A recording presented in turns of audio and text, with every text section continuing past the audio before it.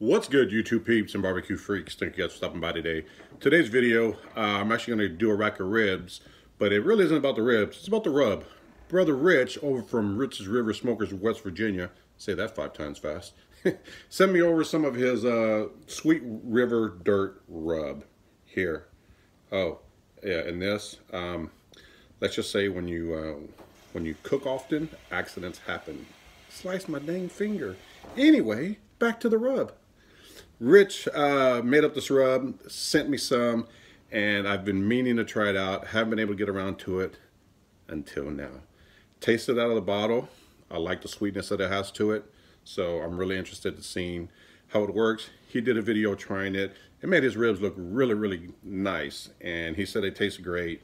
I believe him. So we're to give it a shot. I got a rack of uh, spare ribs that I uh, trimmed up just a little bit. Of course, remove the membrane from the back. And um, we're gonna get those seasoned up. We're gonna cook these on my Weber kettle using the Weber uh, charcoal baskets. I'll show you how I have that set up. And we're gonna just let these uh, go until they're done. So let's get these ribs rubbed down, or this rack of rib, these ribs, it's just one rack, rub down and uh, I got the fire going. Like I said, we'll get them on the Weber. Anyway, let's get to rubbing. All right, so I got the ribs here, and uh, you know, let's just move to the side here. I'm just going to take his rub, get it right on these ribs. The first thing I notice about this rub is that it's the color is uh, it, it it's really light and um, speaking with Rich, when he did his test, I think he mentioned something uh, along those same lines where he was kind of worried that it wouldn't have a you know nice color to them once they were done. But as he let that rub sit in, you know the the color really started to form. So um, I'm assuming the same thing's going to happen here. And you know what? I'm gonna I'm gonna give these a really good coating.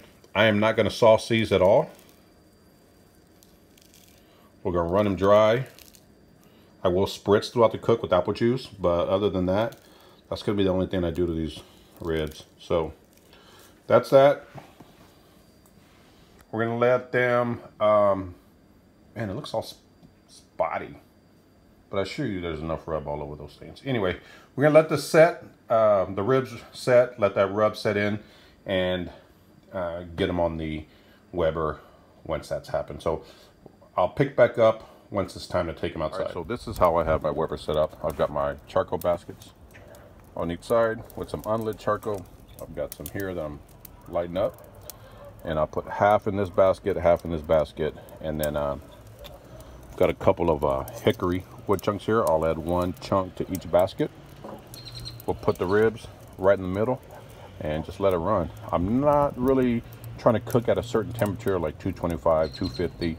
Um, I'm actually going to try to get these done as quick as possible. So it's probably going to be around 275 is my guess, is where the, the temperature is going to be. I'm not going to monitor it, but I'm guessing it's going to sit at 225 on how I set up my vents. So I'll have my bottom vents halfway open, my top vent halfway open and that should give me between 250 and 275 so once these are ready to go and they're almost there we'll dump them in get the ribs on get this cook underway all right these ribs have been sitting for a while as you can see that rub has really set in and is actually given a nice color and this is kind of what uh, I was expecting um, after watching Rich's video you know when I applied that rub it was really light but as you can see it's actually given it a really nice color. So let's bring it around here. That's what they look like. So these are ready to go. We're going to get them on the Weber and uh, let's see how they turn out. All right, the ribs are on. Got the wood in. These ribs look nice. Look at that. So I got the vents halfway uh, shut down. We're, we're going to get the lid on. Uh, those vents will be halfway open and uh, we'll get this cook underway. So throughout the cook, uh, start about the 30 minute mark. I'm going to start spritzing and uh, you know, I'll probably pick back up here in about an hour or so and show you guys what they look like. All right, you guys, we are uh, probably about a about an hour and 15 minutes in to this cook. And what I've done is I took these ribs and I rotate them because this side seems to be burning a lot hotter than this side. So I want to make sure that I got even cooking, but I did just spritz them. So as you can see, we got some good color here still. We're starting to get some pullback already. So like I said, we're about an hour and 15, hour and 20 minutes in, and this is what they're looking like. So I just, again, I just rotated them 180 degrees and spritzed them. I've actually spritzed them about three times already, and I'll continue to do that about every 15 to 20 minutes. But this is what they look like so far.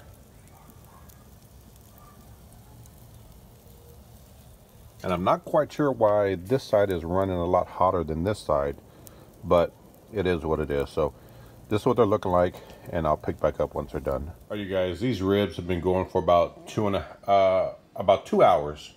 So I've got some nice color on them. I'm getting some pullback on these bones here. So what I'm gonna do is I'm gonna go ahead and wrap them in foil so they don't get too dark. And uh, I'm gonna spritz them just a little bit with some apple juice. And that's just to add a little bit of moisture into the foil, um, foil as I wrap them. But I'm not going to add any sauce or anything. So that's that. I'm going to get them wrapped up and back on the pit and I'm going to go and let them go for probably about another 45 minutes to an hour and they should be done. But I'm going to go ahead and wrap them because we're starting to get some you know, it's kind of getting a little dark here. And so I don't want them to get too dark. I, I'm happy with the color. And now I want to work on the tenderness. So that's where we're at now. Again, just a little bit of apple juice and that's it. And I'll get them back on the pit, let them finish up. All right, we're going to take a look at these ribs. Whew, hot. And see if they're ready or not. Move this lid over real quick but take a look. Whew, this is hot. Hot, hot, hot.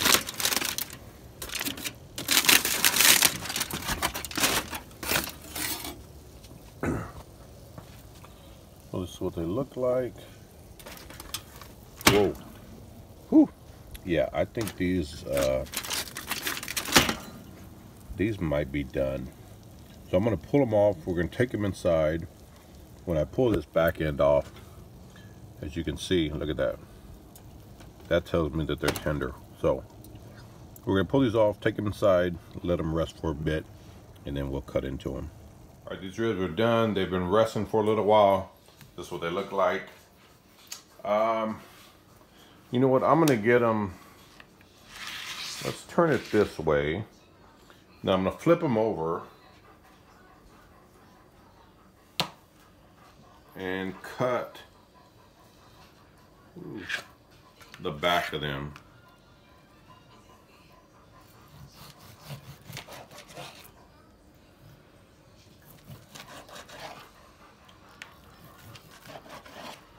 We're seeing some uh, incineration from this meat or the skin back here, which is what we're looking for.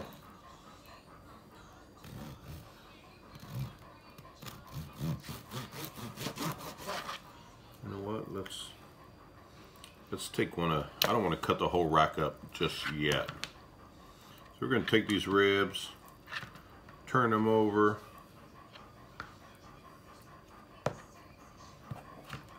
That heavy panting you're hearing, yeah, that's the dog.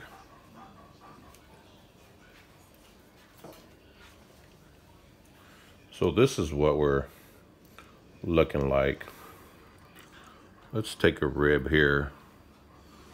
As you can see, got a nice little smoke ring here.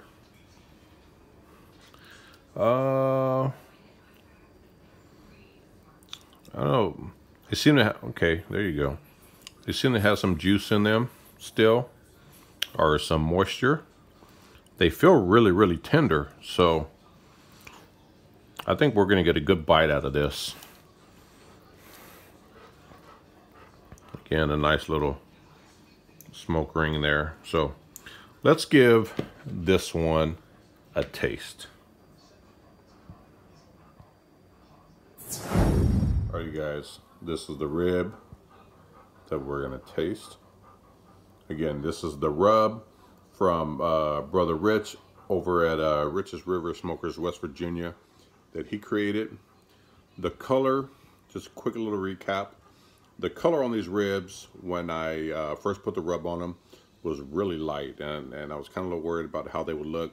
But as that rub set in, it really gave it a nice color. As they cooked, as you can see, I hope you can make this out, it really gave it a nice, nice color. So I'm happy with that. So only thing left to do is give it a bite, give it a taste, and see how this rub turned out. So, man, here we go. Salud. Nice clean bite.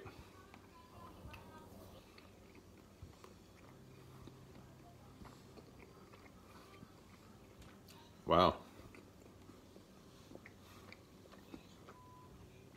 That rub, the rub is actually really, really good. Good job, Brother Rich. Look at that. Nice clean bite right off the bone, but the rest of it didn't pull off. Mmm. Another clean bite. Look at that. Again, only part that came off is what I what I bit, bitten. Perfect.